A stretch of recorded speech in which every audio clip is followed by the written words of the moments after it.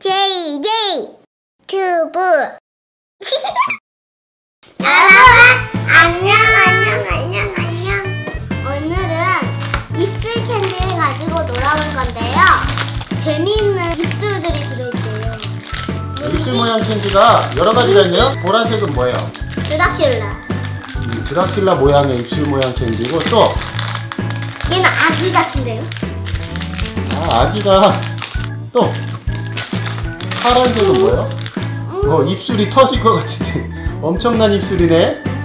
어, 그리고 녹색은 녹색은 이빨이 엄청나게 튀어나와 있네. 그렇지? 자, 그러면은 지우는 어떤 사탕을 먼저 먹어볼까요? 아, 녹색. 서준이는 드라큘라 먹어볼까요? 네, 한번 먹어볼까요? 네!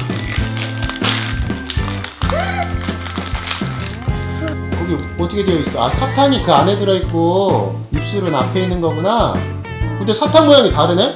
다이아몬드 아. 똑같다 색깔은 똑같은데 서준이는 다이아몬드 모양이고 지우는 동그란 기둥 모양이네. 바퀴 바퀴 어, 한번 먹어봐요.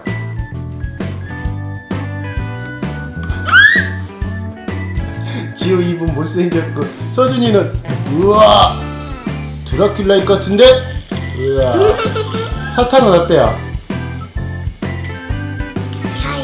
샤야 신맛이야? 무슨 맛 같아 지우야? 맛이 없는 맛 별로 맛이 없어? 그럼 우리 그걸 이따가 먹고 다른 걸 또 까볼까요? 서준이 파란색 봤어요? 뭐야? 아기? 응, 난 터진 거 맞는데 어? 아 녹색 입이네? 조금씩 다르구나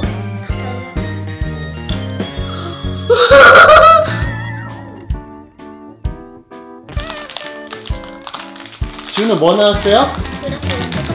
드라큘라? 이번에 지우가 드라큘라 나왔네?